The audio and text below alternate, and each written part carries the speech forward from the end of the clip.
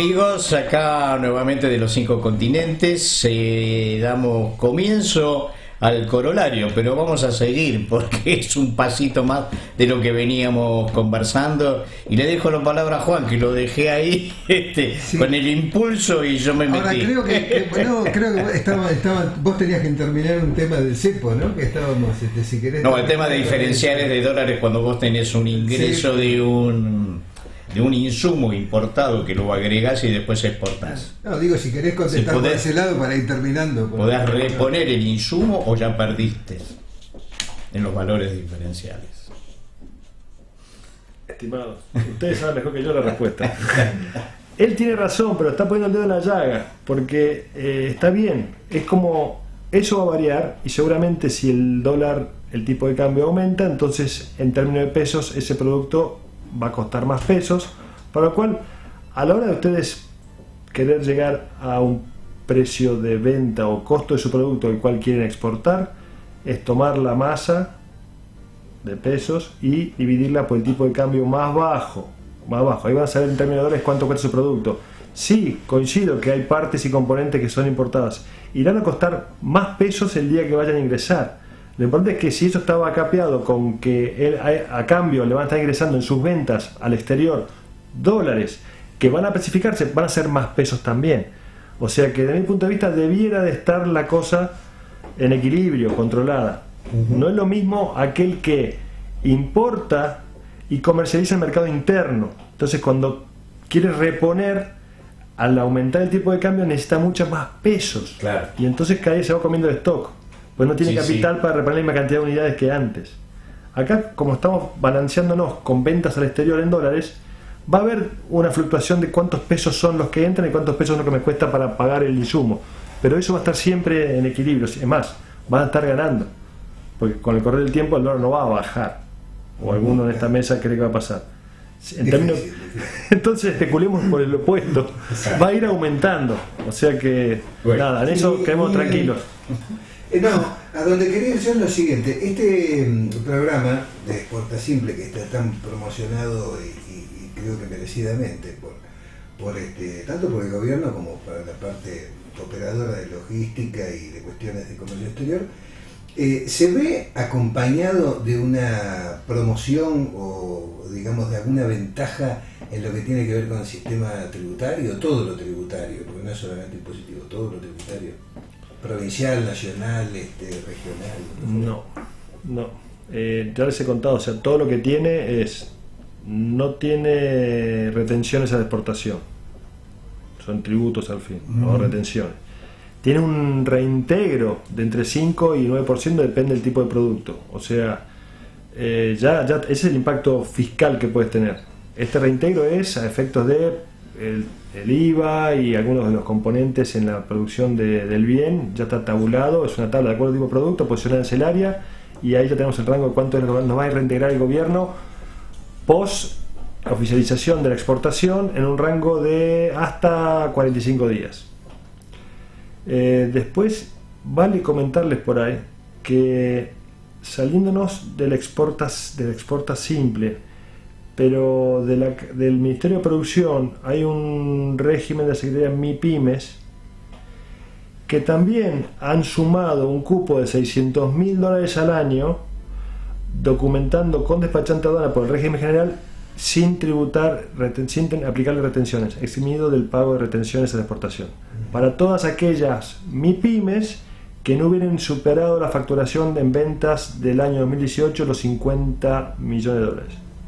O sea que es otro dato que es colateral, porque ya estamos saliéndonos del régimen del exporta simple, pero aquel que ya tiene una presión un poquito más grande también tiene otro cupo de 600 mil dólares por el régimen de, de MIPIMES del Ministerio de Producción, que es inscribirse por ahí y ya con ese número les da ese cupo, acceden a ese cupo y por lo tienen todavía otros 600 mil dólares al año por el, por el régimen de exporta simple. Pero bueno, como hablamos hasta ahora, todo eso son los cupos y las ventajas. El tema es, empecemos por el principio, vayamos en busca de potenciales compradores. Así que tenemos que encarar por ese lado y asesorarnos con las cámaras de comercio de cada una de sus provincias o las filiales de la Agencia Argentina de Inversiones y Comercio Internacional. Correcto, está bien, me parece bien. Bueno, fue muy, muy ilustrativo, se aprendió bastante. Realmente a, la gente le hemos dado la posibilidad de que vean de que esto de exportar no es difícil, se puede, eh, solo no lo intenten, así como eh, nos comentó Ernesto, hay que buscar asesoramiento y no siempre el asesoramiento es un costo, sino que hay organismos estatales que le dan toda la información y no necesita hacer ninguna erogación. Volviendo al corolario y al cepo, a mí me tiene muy preocupado el tema del cepo con que se va a mantener, ya está de acuerdo que se va a mantener el cepo, de que va a haber dólares diferenciales según para qué se va a utilizar. Pero lo que más me preocupó fue lo que escuché esta mañana, de que alguien con peso, con peso político, gremial, peso gremial y demás, este, sugirió al gobierno entrante de que el cepo hay que mantenerlo, sí o sí, porque es la única manera en que no se, se van los dólares. Pero que hay que darle la maquinita, entiendan la, audiencia, la maquinita acá se llama a la emisión de, de moneda. Entonces hay que emitir y entonces darle plata a la gente para que pueda consumir. Y bueno, después con el tiempo hay que devaluar. y después hay que ver qué se hace con el dólar. Bueno, eso y que estemos todos al borde del abismo y alguien grite, demos un paso adelante, es lo mismo. Puedo, voy a hacer un comentario. Voy a empezar con dos frases de John Maynard Keynes. No soy keynesiano, pero Keynes era muy inteligente porque le tocó manejar la crisis más profunda de la historia económica moderna. Ah, estoy hablando de ollas populares en Nueva York, París, Londres, caída del 40% de las bolsas, etc. La Argentina la pasó mucho mejor porque era justamente granero del mundo. Keynes dijo dos cosas muy importantes. Primero, en economía todo es posible excepto evitar las consecuencias. Y, sí.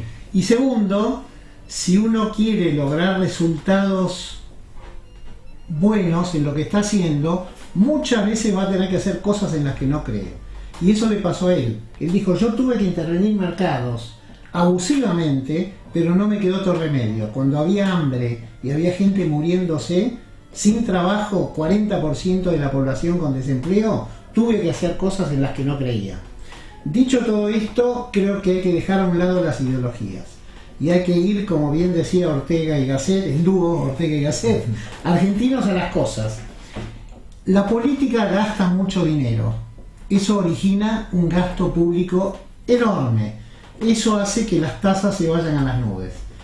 Las tasas altas llevan a un tipo de cambio alto y regulado y con cepo para que la gente no corra masivamente a comprar dólares. Ahí tenemos todo el problema. O dejamos de gastar de más o le damos, como dijo el ilustre gremialista hoy, denle a la maquinita, compren chicones también, compren otras, toda imprenta que tenga impresión de calidad, porque no va a alcanzar las imprentas de la Argentina si, si se nos ocurre no bajar el gasto o no hacer productivo el gasto. en realidad, más que bajarlo drásticamente, es dejar de gastar en lo que se gasta con ineficiencia. Y esa quizá es la palabra clave y con esto cierro la política tiene un objetivo básico, que es mi tesis doctoral, que es la búsqueda del poder y retenerlo. La administración busca la eficiencia. Y la Argentina ha tenido muy poca administración, muy mala administración, que es lo que en Estados Unidos se llama administración, no se llama el gobierno, la política de Bush.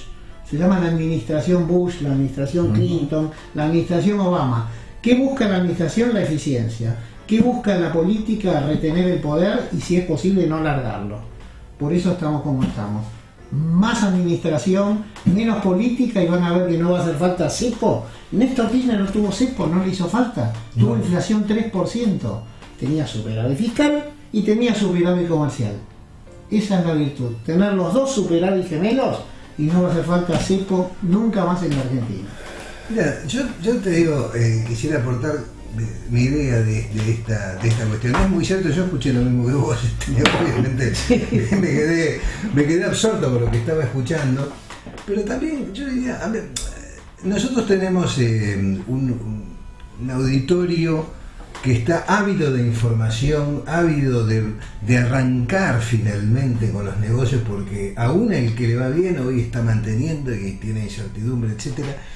Y la realidad es que todas estas cuestiones que están apareciendo en este momento, que todos los días nos levantamos a la mañana con una noticia nueva, con una opinión nueva, son, es, son todas las cuestiones, como vos decís, de la política, de la búsqueda de espacios de poder.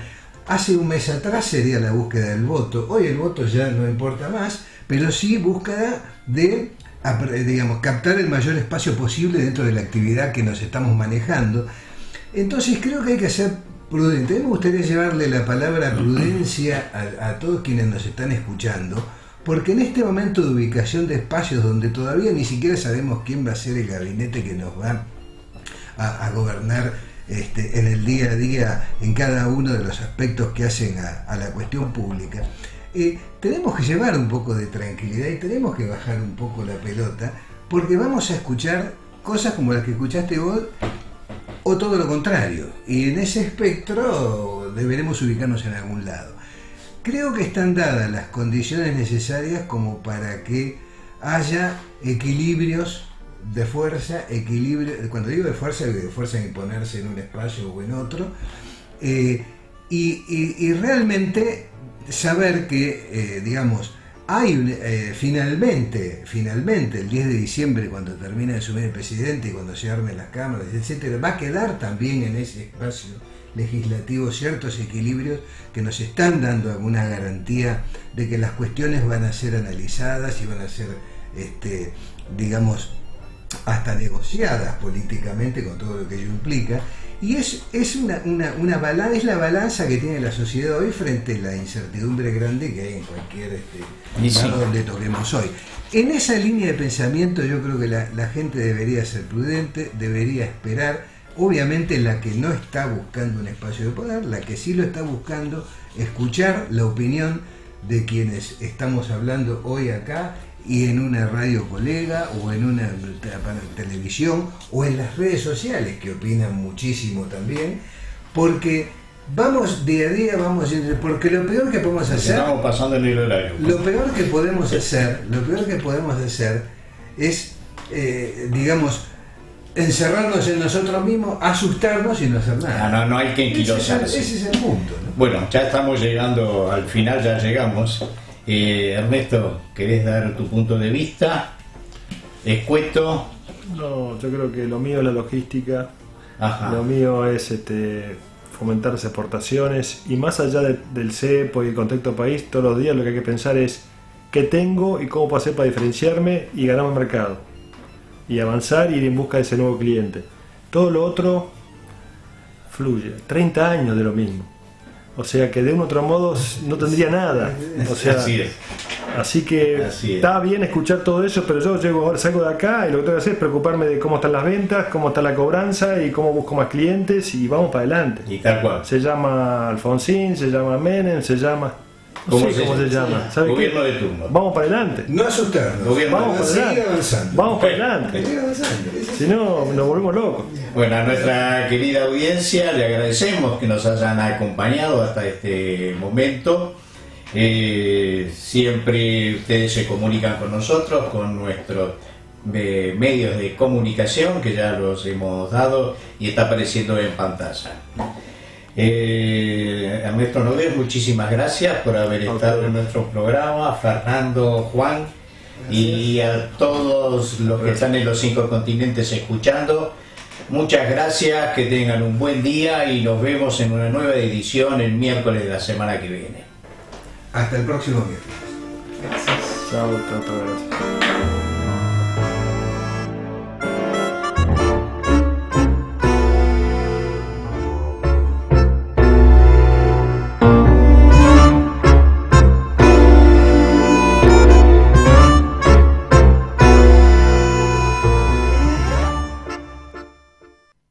Raiconet es una empresa especializada en servicios de transporte aeroexpreso internacional.